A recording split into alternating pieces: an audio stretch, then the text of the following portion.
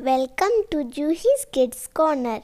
बच्चों, आज हम सीखेंगे अनेक शब्दों के लिए एक शब्द, जिसके अंदर प्रशंसा किए जाने की योग्यता न हो, उसे अप्रशस्त कहते हैं। हम विकृत शब्द को अपभ्रंश शब्द भी कहते हैं।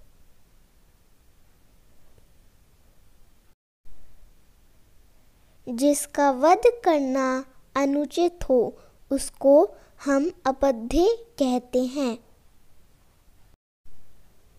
जो दूसरों से संबंधित न हो, उसको हम अनन्य कहते हैं।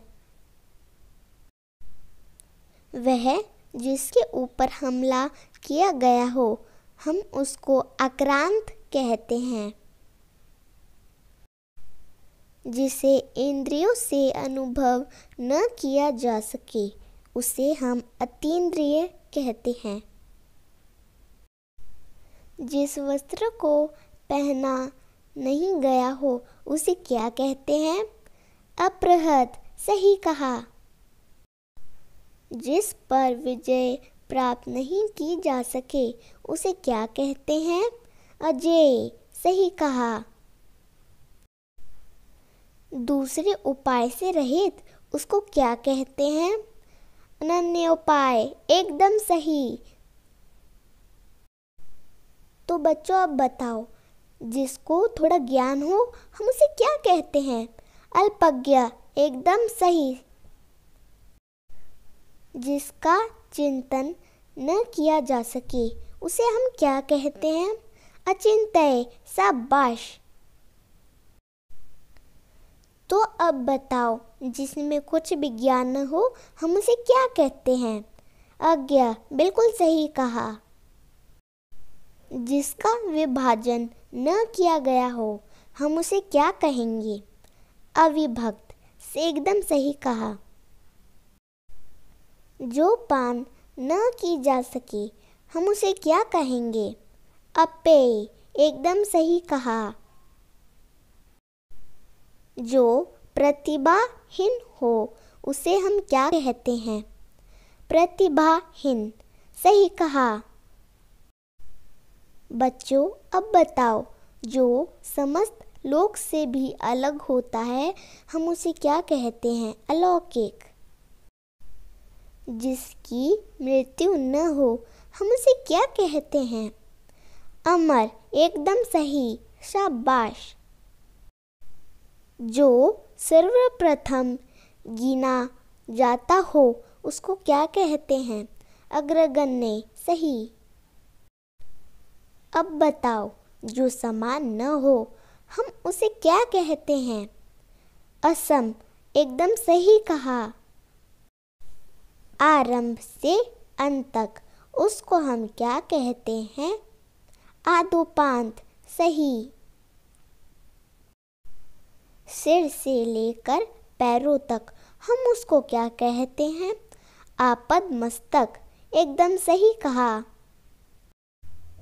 इतिहास से संबंधित ज्ञान रखने वाला उसे हम क्या कहते हैं? इतिहासज्ञ। नया बनाने का कार्य। इसको हम क्या कहेंगे? आधुनिकीकरण। सही कहा। जो इंद्र पर विजय प्राप्त कर चुका हो, हम उसे क्या कहते हैं? इंद्रजीत, सही कहा। जिसका संबंध आत्मा से हो, उसको हम क्या कहेंगे? आध्यात्मिक, एकदम सही, बहुत अच्छे। केवल इसी लोक से संबंधित, हम इसको क्या कहेंगे? इहलौकिक, सही कहा। कृपा के कारण संतोष धारण किए हुए हम उसको क्या कहेंगे? कृतार्थ, सही। स्वयं की इच्छा पर ही निर्भर। हम उसको क्या कहेंगे? इच्छिक सही कहा।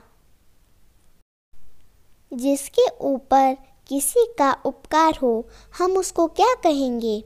उपकृत, एकदम सही कहा बच्चों।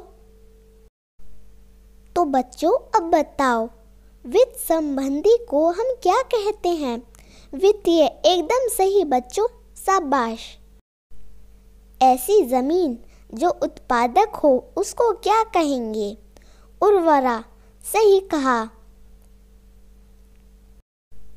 अब बताओ, ऐसा पुष्प जो अभी विकसित न हुआ हो, उसको क्या कहेंगे?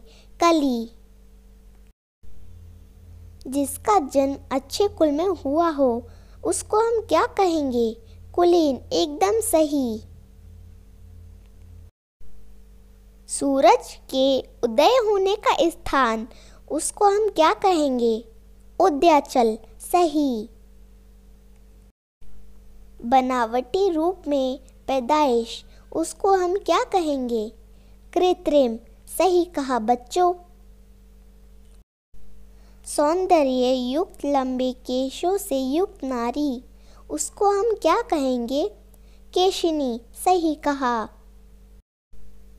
अब बताओ, कार्यों में संलग्न रहने वाला उसको हम क्या कहते हैं? कर्मठ। जो किसी अच्छे एवं बुरे कार्य का वर्णन करता हो, उसे क्या कहेंगे? आलोचक, सही।